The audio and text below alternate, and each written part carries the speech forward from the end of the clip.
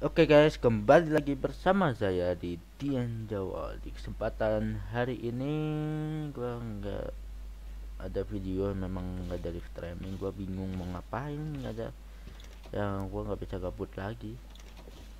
Walaupun ya gua pengennya ya nunggu updatean dulu lah ya. Mana nggak ada video dulu nih, nunggu update lagi. Kalau Picklewood update kita bakalan kita review bareng-bareng atau review apa oh ya guys. Jangan lupa donate ya di bawah ini.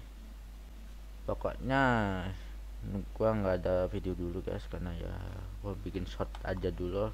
Kegiatan-kegiatan gua ngapain aja di selain YouTube gitu ya. Di balik layar maksudnya ya kan.